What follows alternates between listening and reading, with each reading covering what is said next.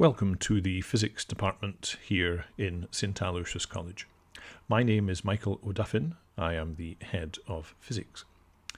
This short video is designed to help second year pupils as they consider which subjects to choose for their third and fourth year courses at National 5 level. Hopefully it will give you a little insight into some of the things you study uh, in physics at National 5, as well as some of the skills that you'll develop, and also why National 5 physics is useful in terms of career progression.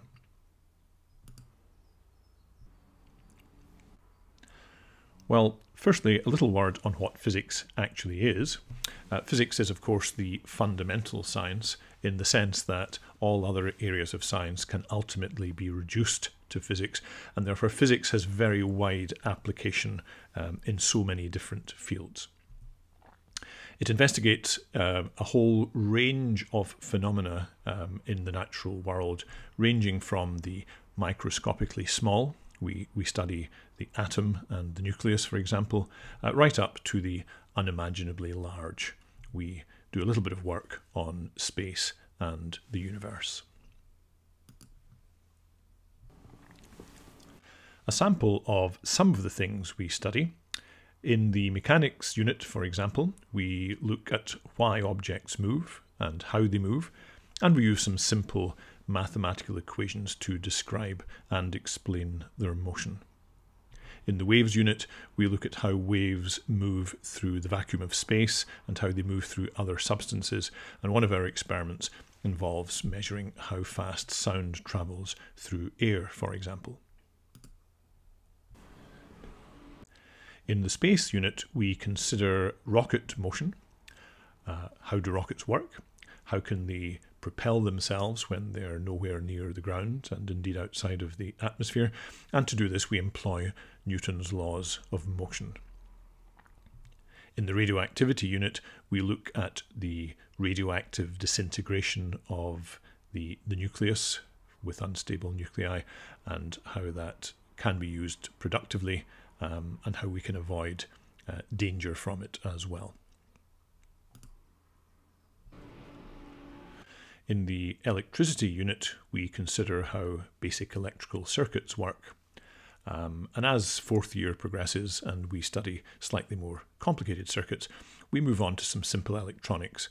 The electronics, of course, which is the basis of the iPads, which all of our pupils now use, and indeed of all computers, which form such an important part of our lives.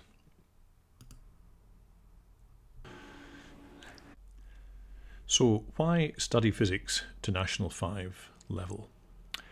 Well, as well as the very interesting things that you'll learn, you will also develop really quite a wide range of skills. And physics is um, perhaps unusual as an academic subject at school level in developing such a wide range of skills.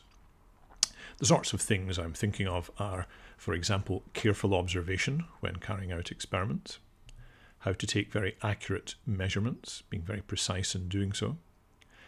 Having gathered results from experiments, analysing the information, having analysed that information, deducing valid conclusions which are logically consistent with what's been observed.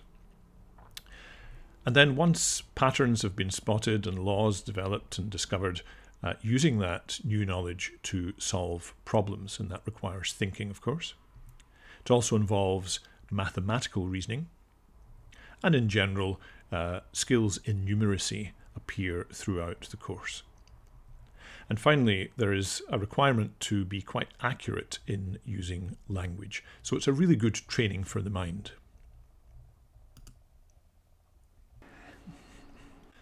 Pupils naturally wonder where this might lead with regard to uh, careers. Well, physics has very wide application when it comes to different uh, careers. For example, um, it's very much desirable in medicine, dentistry, or veterinary medicine to have physics to national 5 level. The scientific thinking and the ability to solve problems and handle uh, numbers is highly valued. Obviously, engineering is uh, another route that requires physics very much so, along with maths.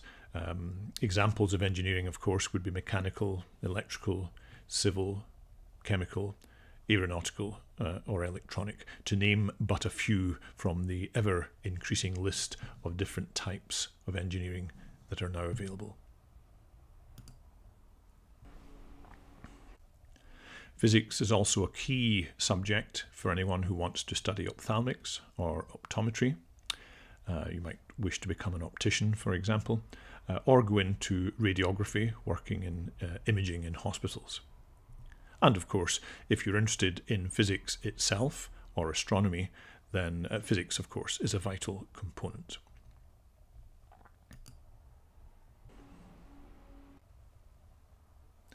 Pupils often think that the kinds of thing you study in physics will only have limited application in um, the, the occupations I've just mentioned, the, the sort of science related ones.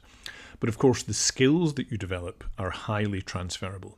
And uh, it's often not realized that the numerical skills and the skills of problem solving and handling data uh, are an excellent preparation for anyone who wants to work in finance, economics, business, or banking, for example.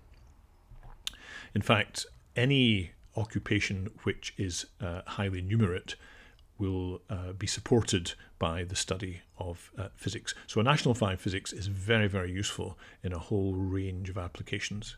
And of course, it goes without saying that any science related job will benefit from having studied physics, at the very least to National 5 level.